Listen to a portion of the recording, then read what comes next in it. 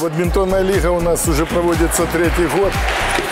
Э, В этом году принимали участие э, 122 школы города Харькова и около 700 детей э, участвовали в этих соревнованиях. Проводилась она э, с понедельника по среду э, в школе высшего спортивного мастерства по районам. Три района в день отдельно разыгрывали места э, в своих районах. И сегодня победители районов э, разыгрывают уже первое место в городских соревнованиях.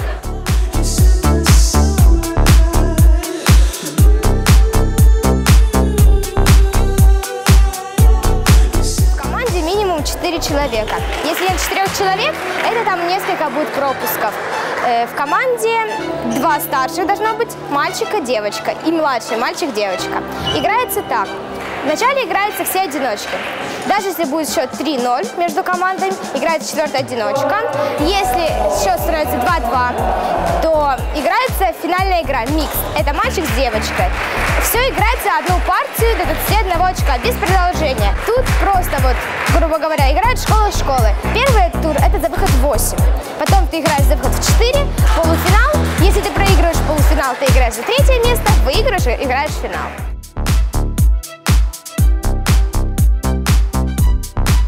Среди детей соревнования, на мой взгляд, очень популярны.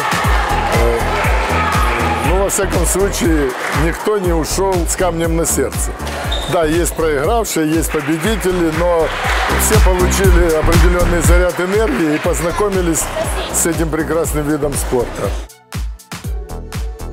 Все одиночки, которые я играла, это были игры, ну, на уровне, который ниже меня. Поэтому как бы про них ничего особо не сказать. Вот сейчас я только что закончила игру с Настей Прозоровой. Эта девочка кандидат мастера спорта. Мне было очень с ней приятно сыграть и понять, на каком уровне играют кандидаты мастера спорта. Я реально понимаю, что скоро я ее буду обыгрывать. Я очень довольна, это была хорошая игра, мне море позитива доставила, и я поняла, над чем мне нужно работать.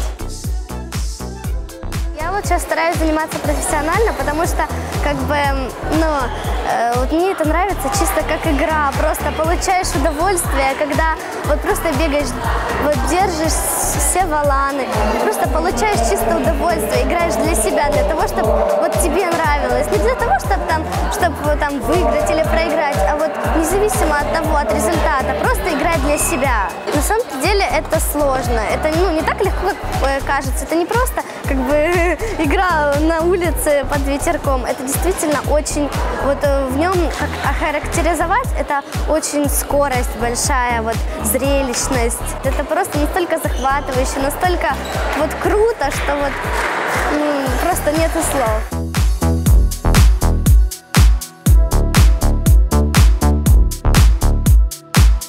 Бадминтон вообще э, спорт, э, я бы сказал, уникальный. Почему? Во-первых, он э, не требует большого пространства, во-вторых, он не требует большого количества э, людей, особенно если это небольшие школы, там, в сельской местности, ну, на уроке физкультуры. Ну, чем заниматься? Конечно, бадминтоном. Очень многие врачи-офтальмологи рекомендуют э, заниматься бадминтоном детям, э, у которых есть какие-то проблемы со зрением, потому что э, вот этот движущийся валан, он тренирует глазную мышцу, и даже вот э, в медицинских целях этот вид спорта тоже э, очень полезен. Он сочетает в себе все, что необходимо для, для э, занятий спортом. Скорость, э, выносливость, силу. Э, ну и самое главное, э, надо, чтобы работала голова. Я считаю, что для школы это немаловажно.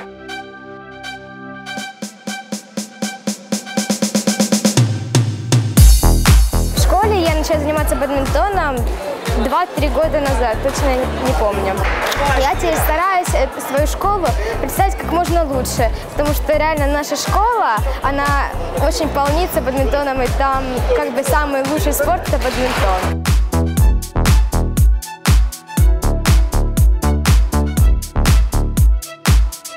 Мне на самом деле очень нравится э, школьная лига, потому что ну вот много людей, много детей могут попробовать себя в чем-то новом. Вот, вот на данный момент в бадминтоне.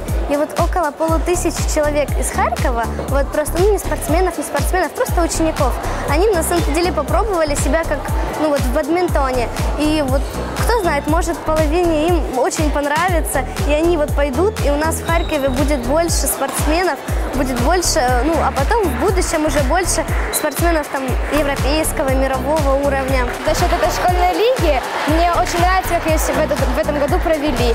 Везде есть судьи, везде, они в каких красив, красивых костюмах, они вот делают все, чтобы нам было комфортно. Как бы еще три дня назад это была школьная лига, которая просто за выход сюда. Это был этап школьной лиги, а это же этап городской.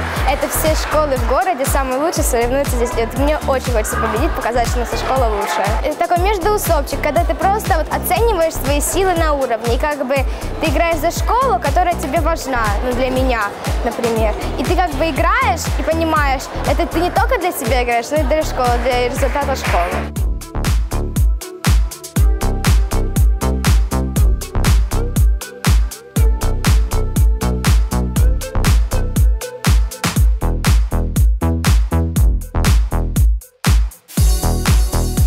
Знаете, говорят, инициатива наказуема.